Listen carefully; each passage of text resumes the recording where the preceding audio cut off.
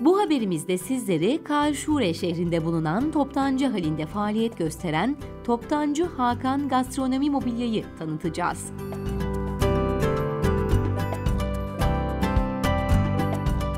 İçecek, taze ve kuru gıda, baharat, konserve, peynir ve ambalaj konularında geniş bir ürün yelpazesine sahip olan iş yerini iş yeri sahibi Abdullah Kara ile beraber gezerek bilgi aldık.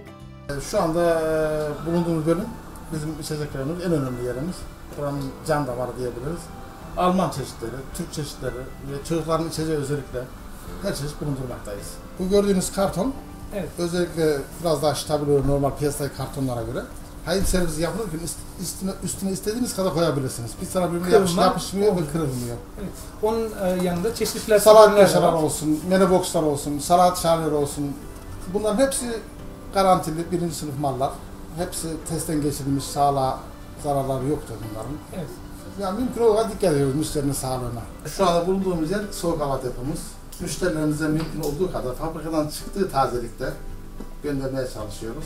Her şey e, bizim yoğurt ayranı çok iddialıyız. Evet. Kaliteyi denesin. Onların da belli bir derecede e, durması gerekiyor değil mi? Tazeliğini koruması için. Tabii ki hiçbirini birbirinin yanına yaklaştırmıyoruz. Peynir ve yoğurt reyonu burası. İş yeri sahibi Abdullah Kara, sektörde oldukça iddialı. İş yerinde müşterilere en kısa sürede servis imkanı sunuluyor.